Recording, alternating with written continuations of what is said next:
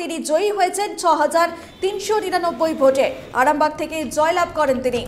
ভোটে জয়ী হয়ে কামারপুকুর মাঠে পুজো দিলেন তৃণমূলের মিতালি বাগ।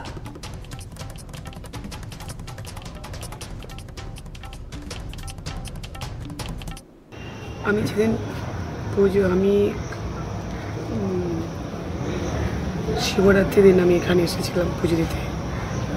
এখান থেকে অভিষেক বন্দ্যোপাধ্যায় অফিস থেকে নিয়ে নিয়ে গেছিলেন এইখান এই জায়গাটা থেকে। সেদিন আমি এখানেই ছিলাম। তো একটা কোথাও একটা আধ্যাত্মিক আরামবাগ লোকসভাবাসীর জন্য কি বলবেন? আরামবাগ লোকসভাবাসীকে আমার আন্তরিক সবুজ অভিনন্দন। প্রত্যেককে আমার আন্তরিক সবুজ।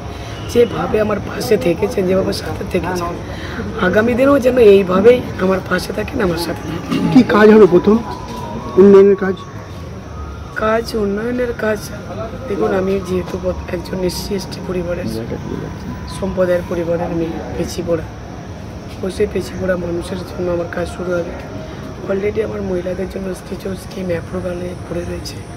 সেটা কাজ ইলেকশনের আচরণবিধি কেটে গেলে সেই কাজ আমি শুরু করব।